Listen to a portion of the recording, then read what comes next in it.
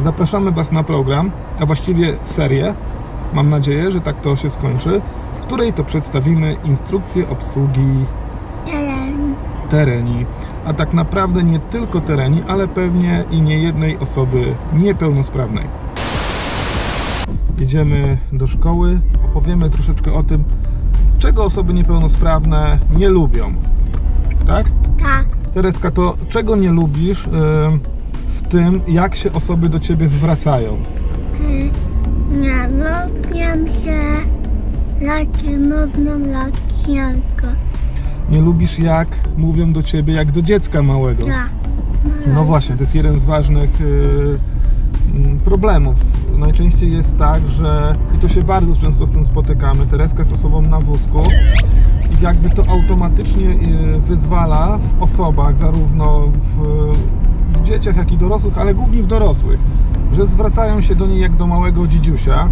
Tymczasem Tereska lubi sobie spokojnie, normalnie porozmawiać.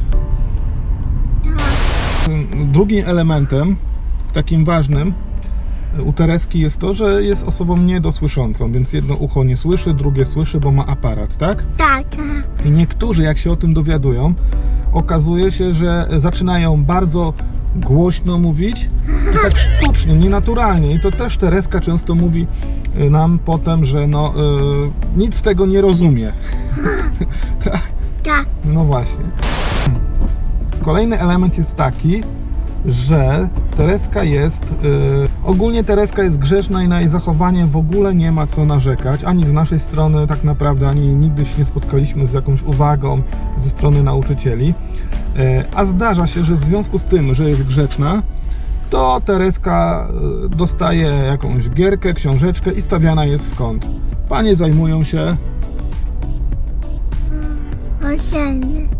Panie zajmują się ocenami, yy, zajmują się innymi dziećmi, a w związku z tym, że Tereska nie sprawia kłopotu, to nie trzeba jej poświęcać czasu. Tymczasem jest właściwie odwrotnie. Tereska bardzo lubi yy, interakcje z innymi osobami, tak naprawdę mogłaby cały czas z kimś dyskutować. Tereska yy, przy niektórych zadaniach potrzebuje pomocy, chociażby z tego tylko względu, że no ma tą wadę wzroku i wadę słuchu. Ona sobie poradzi, gdyby była po prostu wszystko na dziś. Następnego ranka przygotujemy kolejny odcinek. Tak. Pa, pa. Oglądajcie następny odcinek.